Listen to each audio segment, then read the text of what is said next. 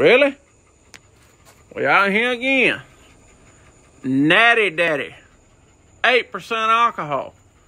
16 ouncer. What you gonna do with it, Willie? Let me see a swallow.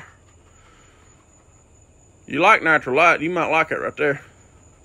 What's that taste like? Vinegar and syrup. That's good. You like it? Mm, You'll drink it?